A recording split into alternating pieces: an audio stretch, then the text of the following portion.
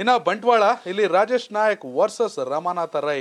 ರಮಾನಾಥ ರೈ ಏನೋ strong comeback ಮಾಡ್ತಾರಾ ಅನ್ನೋ ಚರ್ಚೆ. ಅಂದರೆ ಒಂದಷ್ಟು ಆಕ್ಟಿವ್ ಆಗಿ ಓಡಾಡ್ತಿದ್ದಾರೆ. ಸ್ವಲ್ಪ ಸೈಲೆಂಟ್ ಆಗಿಬಿಟ್ಟಿದ್ರು. ಭಾರತ್ ಜೋಡೋದಲ್ಲಿ ತುಂಬ ಆಕ್ಟಿವ್ ಆಗಿ ಕಾಣಿಸ್ಕೊಂಡ್ರು. ಅಂದರೆ ಸ್ಥಳೀಯ ಮ ಕ್ಷೇತ್ರದ ಮತದಾರ ಹೇಳೋ ಪ್ರಕಾರ ಕೂಡ ರಮನಾಥ ರೈ ಒಂದಷ್ಟು ಆಕ್ಟಿವ್ ಆಗಿದ್ದಾರೆ. ಬಿಜೆಪಿ ಇದ್ದಾರೆ. ಹಿಂದೆ ಶ್ರೀರಾಮ ಶಾಲೆದು ಹೌದು. ಕಲ್ಲಡ್ಕ ಪ್ರಭಾಕರ್ ಭಟ್ಟು ಮತ್ತೆ ಹಿಂದುತ್ವದ ಮುಖಂಡರು ಪ್ರತಿಷ್ಠೆ ಆಗಿ ತೆಗೆದುಕೊಂಡ್ರು.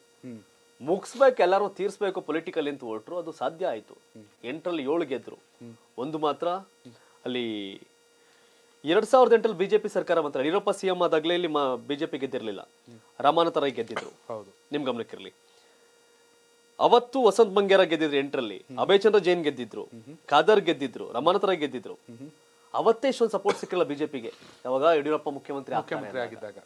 ಹೊಡ್ತಾ ಬಿದ್ದಿದ್ದೆಲ್ಲಿ ಎರಡ್ ಸಾವಿರದ ಹಿಂದುತ್ವ. ಹಿಂದುತ್ವ. ಹದಿನೆಂಟರ ಸಂದರ್ಭ ಚುನಾವಣೆಯಲ್ಲಿ. ಸೊ ಹಾಗಾಗಿ ಅದಕ್ಕೆ ಹೇಳೋದಿಲ್ಲಿ ಸಿದ್ದರಾಮಯ್ಯ ಯಾವುದೇ ಕಾರಣಕ್ಕೂ ಮಂಗಳೂರಿಗೆ ಹೋಗಬಾರ್ದು. ಪಕ್ಷದ ಹಿತದೃಷ್ಟಿಯಿಂದ. ಹೌದು.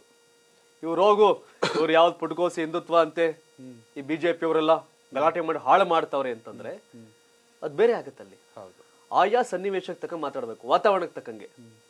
ಸೊ ಹಾಗಾಗಿ ಸಿದ್ದರಾಮಯ್ಯನೇ ಅಲ್ಲಿ ಒಂದ್- ಒಂದ್ ರೀತಿ ಆ ಕಾಂಗ್ರೆಸ್ ಪಾರ್ಟಿಗೆ ಅಲ್ಲಿ ಸ್ವಲ್ಪ ಒಂದಷ್ಟು ಡ್ಯಾಮೇಜ್ ಅಲ್ಪಸಂಖ್ಯಾತರು ಹೆಂಗಿದ್ರು ಓಟ್ ಹಾಕ್ತಾರೆ ಅವ್ರಿಗೆ ಕಾಂಗ್ರೆಸ್ಗೆ. ಮತ್ತವ್ರನ್ನ ಓಲೈಕೆ ಮಾಡೋದೇನಿಲ್ಲ.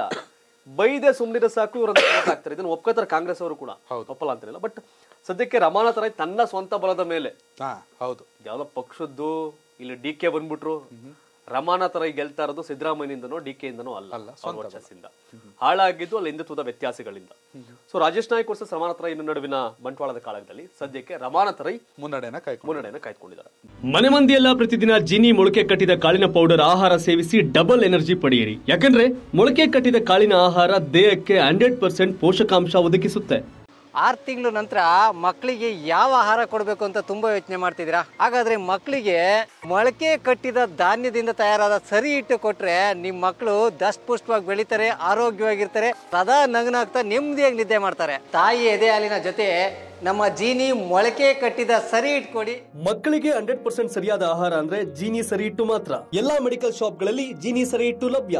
ಅರ್ಧ ಕೆಜಿ ಚಿಕನ್, ಅರ್ಧ ಕೆಜಿ ನಾರ್ಕ್ ಚಟ್ಟಿನಾಡು ಬಿರಿಯಾನಿ ರೈಸ್ ಮಸಾಲಾ ಇದ್ರೆ ಇಪ್ಪತ್ತು ನಿಮಿಷದಲ್ಲಿ ಸೂಪರ್ ಆದ ಬಿರಿಯಾನಿ ರೆಡಿ ಆಗುತ್ತೆ ಈ ಕೂಡಲೇ ಕಾಲ್ ಮಾಡಿ, ನಾರ್ಕ್ ಚಟಿನಾಡು ಬಿರಿಯಾನಿ ರೈಸ್ ಮಸಾಲಾ ಮನೆ ಬಾಗಿಲಿಗೆ ಡೆಲಿವರಿ ಕೊಡ್ತಾರೆ.